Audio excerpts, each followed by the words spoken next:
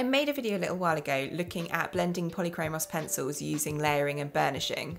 Today I want to have a look at if there's anything we can do to enhance that using some different materials. So the ideal material would be something that breaks down the oil in the pencil and smooths the pigment out onto the page. I've shortlisted five different items, some of which I already had around the house, some I've bought especially, so that I can compare all of them and we can see which one works the best.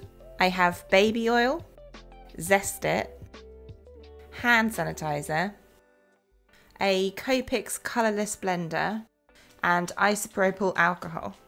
I've popped links in the description for everything I'm using today. Let's get on with it. Hey, my name's Gemma and I want to help you improve your drawing skills. If it's your first time here, don't forget to click the subscribe and the notify bell so you never miss an art tutorial.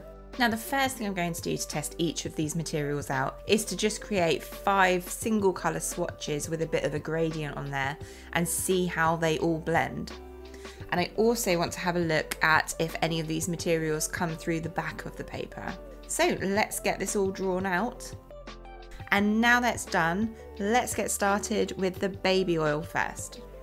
I've tipped some of the oil into the lid just to make it a little bit easier to get on the Q-tip that I'm going to use.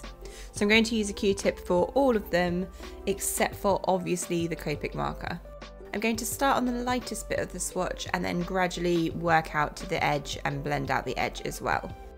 And it's not doing too bad actually, but it is smoothing out the pencil strokes and leaving quite a nice smooth base. I'm quite impressed with the baby oil. Let's see how Zest It holds up. Now this does feel a lot less greasy and nicer to put on. It's blending out the pencil strokes very well, and I feel like it's easier to control how it blends. I also, I don't know if it's just me, but it seems to be making the colour a bit more intense, whereas the baby oil seemed to mute it a little bit. So, so far I would say that Zest is my favourite.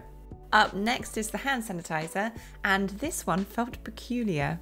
As I think we all know now, hand sanitizer is very jelly like, and putting something with a jelly like consistency on the paper just felt a bit weird. And as you can see, it also didn't do a great deal. So I'm not particularly impressed with this one. Next up is the Copic marker. The Copic marker blended it a little bit, but not to the extent of the Zest It and it did go down on the paper very easily and it was really easy to use. But as you can see now on the tip here, it is very blue and I'm going to have to try and find a way to clean that off. Last but not least is the alcohol. And being so thin, it went down pretty easily as well. Although I will mention that due to it being alcohol, it wasn't very potent but it blended it all out quite nicely. I would say it wasn't dissimilar to the Zest It. So now I've got all of the swatches blended, I'm just going to leave it all to dry properly. I'm going to see if I can go over the top of the dark section with pencil again and see how well the pencil goes on top of what I've already got down on the paper. I would say I wasn't able to get a strong colour on any of them really except for the Zest It. And it was worse the oilier the material that I had used was. Now let's just take a look at the back of the paper and see if anything soaked through. And what you can see here is the baby oil and the Zest It have both made a mark on the back. However, after a couple of hours, the Zest It did dry and disappear completely, but the baby oil was still there. Okay, some of the materials definitely performed better than others, but I wouldn't say any of them performed amazingly on the light patch where there's less pencil to blend. So I think the best thing to do is to use some swatches where I'm using multiple colours and see how it all blends together when it's all completely burnished. So I'm going to use the swatches that I made for the skin tone video I did a couple of weeks ago. And let's see if the results are any different. Now while I do this, let's take a minute to talk about the price of each. Zest is by far the most expensive.